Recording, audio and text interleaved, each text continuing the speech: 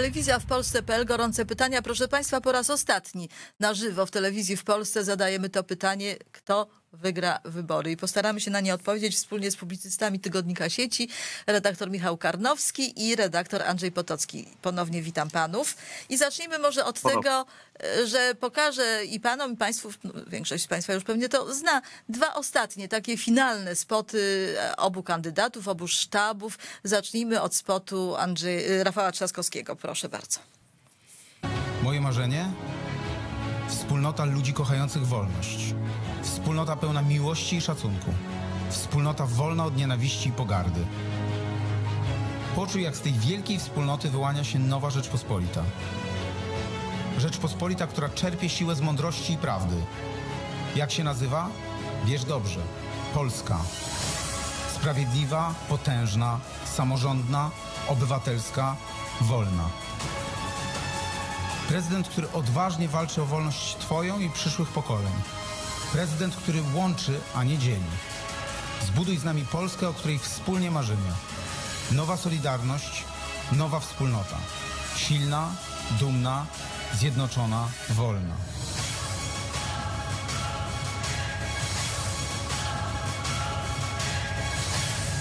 Nasze marzenie. Nasza Polska. Dzięki Wam. No właśnie, a tak wygląda y, chyba już ostatni spot y, Andrzeja Dudy, który też jest swoistego rodzaju podsumowaniem tej kampanii. Bardzo proszę. Zadajemy pytanie, jaka Polska będzie w przyszłości. To silna, bezpieczna Polska, to rodzina, to praca, to godność. Perish. Oto właśnie są te wybory. Albo Polska będzie dalej podążała drogą rozwoju, albo Polska będzie z powrotem zwijana. Prowadzimy politykę bez kompleksów, żebyśmy byli dumni ze swoich dokonań dla Polski. A będziemy dumni wtedy, kiedy będziemy mogli młodym zostawić Polskę bezpieczną, silną, sprawiedliwą, uczciwą, która umie wesprzeć i ochronić słabszych i nie musi bać się silnych. Pod biało-czerwonymi sztandarami jest miejsce dla każdego. Niech żyje Polska! No właśnie, Andrzej, recenzja krótka obu spotów.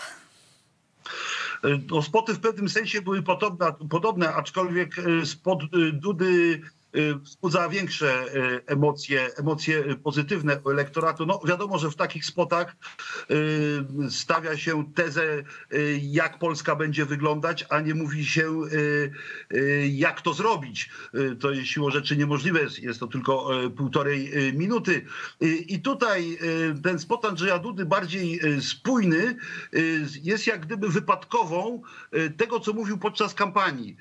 Bowiem kampania Andrzeja Dudy była kampanią generalnie spójną, nie było w niej sprzeczności. Natomiast inny spot, zestawiając z tym, jak Rafał Trzaskowski zachowywał się i co mówił w swojej kampanii wyborczej, jest jak gdyby kompletnie oderwany od rzeczywistości. Tak jak Andrzej Duda odpowiedział na pytanie, jak to zrobić, żeby była taka Polska, jaką przedstawił w spocie, tak Rafał Trzaskowski przedstawił generalnie zestaw pobożnych życzeń, niczym niepopartych, bowiem w tej kampanii wyborczej nie usłyszałem od Rafała Trzaskowskiego, a także oczywiście ci ludzie, którzy go oglądali, tego, jak zrobić, żeby ta Polska była taka, no powiedzmy Polską solidarną, Polską zjednoczoną, jak przedstawiał to te swoje zamierzenia Rafał Trzaskowski. Na to pytanie nie znalazłem odpowiedzi podczas całej kampanii wyborczej, wręcz przeciwnie, mnożą się znaki zapytania, które powstają na skutek sprzecznych, sprzecznych przekazów, które Rafał Trzaskowski Także ten spot musi być traktowany w kontekście całej kampanii wyborczej, bo on jest jej jak gdyby punktem końcowym i tą wypadkową. Panie redaktorze, zwracam, zwracam się do redaktora Michała Karnowskiego. Mnie uderzyła taka zasadnicza różnica w obrazach, dlatego że my żyjemy w cywilizacji obrazkowej. Bardziej do nas przemawia obraz niż słowo. Te obrazy w spocie Andrzeja Dudy, one nie tylko mówiły o tym, jak do tej pory pełnił swoją służbę, bo przecież przecież mieliśmy obrazki ze spotkania z prezydentem Stanów Zjednoczonych i e, różnego rodzaju historyczne wstawki, e, ale no jednak obraz przemawia. Słowa mogą być różne, słowa przenikają. Właściwie można powiedzieć, że każdy z 11 kandydatów w pierwszej tury mógłby te słowa ze spotu e, Rafała Trzaskowskiego czy e, Andrzeja Dudy umieścić w swoim spocie, ale jednak ten obraz był bardzo taki no, działający na emocje. No, taki ostatni spot y, to jest ws- wspólny mianownik, tak? Tu się już e, szuka wspólnych mianowników. Ja myślę, że e, to, co uderza oprócz rzeczywiście tych obrazów, ale może te obrazy są funkcją tego, o czym ja myślę. To jest pewna energetyczność, większa chyba jednak u prezydenta Andrzeja Dudy. To jest taka moc, to jest taka siła, to jest może trochę i pewność siebie. E, Kiedyś jeden z ludzi sceny, bardzo doświadczony, wiele dekad na scenie, powiedział mi tak, e, nie tylko w teatrze, nie tylko na koncercie, nie tylko w kinie, często wygrywa nie ten, kto ma, nie wiem, większy talent, jest lepszy, ale ten, kto jest bardziej energetyczny. Ludzie idą za pewną energią, ludzie idą za takim przekonaniem, że mam coś do powiedzenia. I ja tego więcej widzę u prezydenta Andrzeja Dudy. Jest jeszcze jeden wątek wart, moim zdaniem, jak, jak słuchamy, oglądamy te spoty poruszenia. To jest e, teza, którą często stawia Rafał Trzaskowski o tym, że konkurent dzieli Polaków, a on ich połączy. To jest, ja bym powiedział, najbardziej zakłamana, fałszywa i wstrętna w jakiejś mierze teza, jaką próbuje narzucić nam obóz trzeciej RP. Dlatego, że pod to, e, pod ten zarzut podkładane są wszystkie ważne sprawy. Znaczy, na przykład pytając, czy Rafał Trzaskowski zapłaci odszkodowania za mienie bezspadkowe. Mowa o miliardach, dziesiątkach miliardach dolarów, które zrujnowałyby wielu Polaków, wygnałyby ich z domu. E, Czy pytanie o to jest dzieleniem Polaków? Czy mówienie o tym jest dzieleniem Polaków? Czy rację ma Andrzej Duda, którego stanowisko w tej sprawie znamy teraz, jest jasne? Nie. Nie ma tutaj prawnych, moralnych, historycznych argumentów za czymś takim. Chcecie pieniędzy, macie poczucie, że wojna wam coś zabrała. To często słuszne. Proszę bardzo, Berlin to jest właściwy adres. Czy też Rafał Trzaskowski, który mówi, to nie jest temat na kampanię, ja teraz o tym nie chcę mówić. No to kiedy? No to kiedy? To co jest ważne, jak nie takie sprawy w kampanii wyborczej? I to jest nazywane dzieleniem Polaków.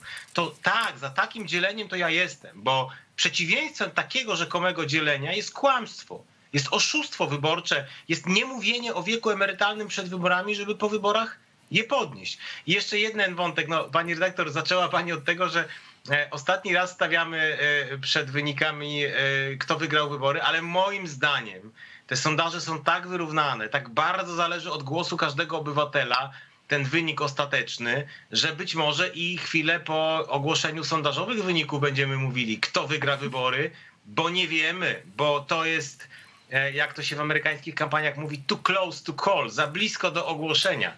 No, to może być ciekawy moment. No, jeżeli w kampanii wyborczej do Senatu zaważyło o tym, y, że Tak. y, jak mówi y, kandydat Trzaskowski, Senat jest nasz, Senat jest wolny i niepodległy i niezależny, 320 głosów, to rzeczywiście przy takim podziale wszystko się może zdarzyć. Andrzej, dzielenie Polaków. Zauważył pan redaktor Karnowski o mów- mówieniu o tym dzieleniu Polaków. Nasi, nie, nie nasi, nas popierający nie.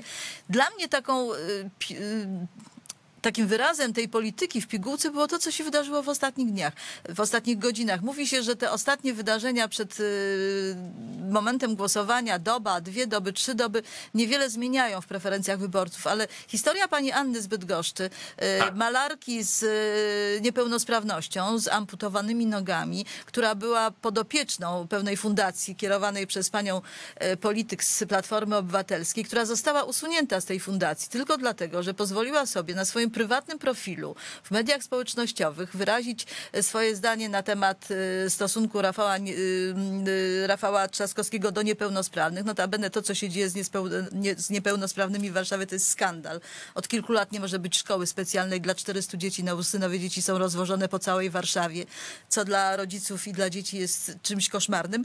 I ta pani Anna została pozbawiona opieki, bo jeden ze sponsorów uznał, że to są, on sprzyja Platformie Obywatelskiej. To jest taka w pigułce Platforma Obywatelska. Jesteś z nami, to jest wszystko okej. Jesteś przeciwko, to Andrzej, co ty o tym myślisz? Doktryna, do, kłania się doktryna Neumana. Neumana. E, Jesteś z nami, e, nie, nie skażemy, sąd cię nie skaże, wylatujesz, e, masz wyrok.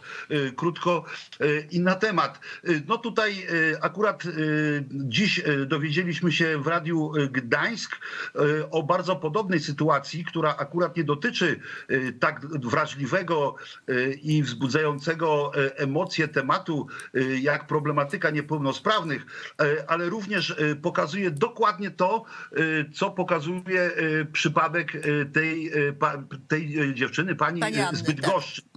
E, Tak, tutaj w Gdańsku jest tradycyjna, potężna piekarnia, która działa od 1920 roku, nazywa się Pelowski.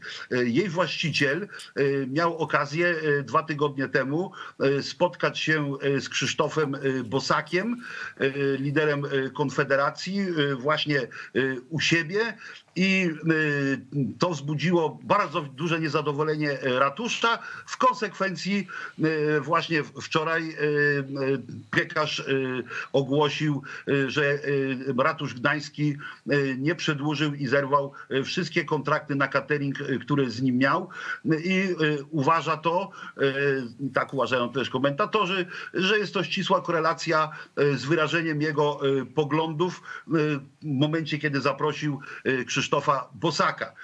I On się także, ma- przepraszam, że ci przerywam, ale on się chyba także pokazał e, z Kacprem Płażyńskim, y, y, parlamentarzystą Prawa i Sprawiedliwości przy jakiejś okazji. Tak, ale, tak, tak, ale Kasper Płażyński nie jest biznesmenem, nie jest piekarzem i miał kontraktów z ratuszem gdańskim, w związku z tym trudno go było jakoś tutaj ukarać. Natomiast tutaj pre- prezydent Dulkiewicz jasno stawia sprawę. Nie jesteś z nami, to nie zarobisz człowieku. Y, Pamiętaj skąd masz chleb, y, aczkolwiek Pelowski sobie poradzi, nie w tym rzecz. Y, Rzecz polega w ogóle kompletnie na czym innym, mianowicie y, Rafał Trzaskowski, który, którego hasłem jest wspólna Polska, rzekomo miał nie dzielić tych Polaków, a tutaj jego bardzo bliska współpracownicka, towarzyszka partyjna, szefowa Gdańska, właśnie akurat to robi. Jak do tego się ma elektorat Konfederacji, któremu on zapewniał to, że teraz go będzie popierał, teraz będą marsze niepodległości, podczas gdy pani prezydent nie wytrzymała jednego dnia do kampanii wyborczej, bo akurat zbliżał się termin tych przetargów i pozbawiła Pelowskiego e, kontraktów. Tak to wygląda w praktyce.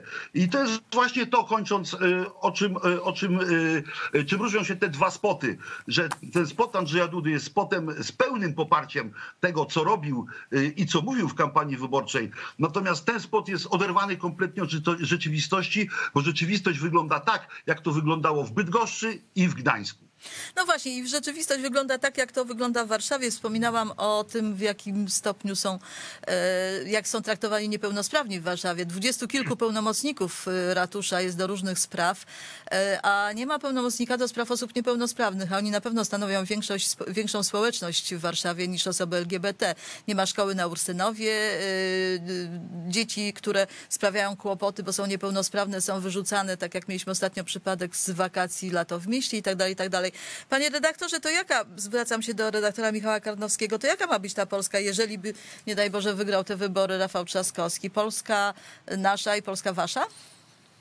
No, Polska pewnego monopolu, który już dzisiaj jest obecny w wielu miejscach, w wielkich miastach. E, Zwolennicy e, bardziej konserwatywnego kursu, wyborcy prezydenta Andrzeja Dudy często żyją tak, jak się żyło e, za PRL-u, to znaczy w, w pełnej konspiracji e, w przypadku wówczas e, ludzi Solidarności. No, e, e, ja znam ludzi osobiście, którzy głosują na prezydenta Andrzeja Dudę, nie przyznając się nawet, nawet swoim znajomym, bo to jest taka presja, takie odrzucenie, taki koszt. E, Dzieci ludzi, którzy są identyfikowani na przykład w sferze publicznej jako e, osoby e, czy konserwatywne, czy jakoś życzliwe wobec tego projektu naprawy państwa, który mamy od roku 2015, są często prześladowane w szkołach, we wspólnotach, w różnych e, klubach i tak dalej. To jest pewna codzienność, którą się mierzymy, więc ja myślę, że już dzisiaj tej wolności jest niewiele, a doświadczenie tych wielkich miast rządzonych przez Platformę pokazuje, jaki to jest kierunek i jej po prostu będzie bardzo mało. Niektórym się wydaje być może, że to jest taki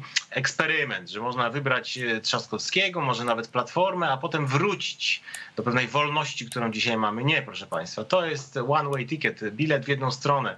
Jeżeli raz zdemontujemy pluralizm medialny, to już nas to soroszowe towarzystwo mocno przypilnuje. Jeżeli raz pozwolimy im użyć narzędzi państwowych do zdławienia na przykład Marszu Niepodległości, bo przecież to chcą zrobić, to chcieli zrobić, z tego nie zrezygnują. Wprowadzenie w to miejsce Marszu Tęczowego, to już ich nie zatrzymamy. Musimy, musimy w tym momencie kończyć. Panie redaktorze, y, ja Państwa zapraszam na wieczór wyborczy w telewizji w Polsce.pl od 21 w niedzielę. Wszyscy się tam spotkamy, publicyści, również tu obecni y, panowie i być może już będziemy znali odpowiedź na pytanie, kto wygrał wybory, a jak nie, to będziemy się mocno denerwowali i zastanawiali. Dziękuję bardzo. Michał Karnowski i y, Andrzej Potocki, publicyści Tygodnika Sieci, byli Państwa i moim, moimi gośćmi. Dziękuję bardzo i do zobaczenia. Dziękuję bardzo. Do zobaczenia.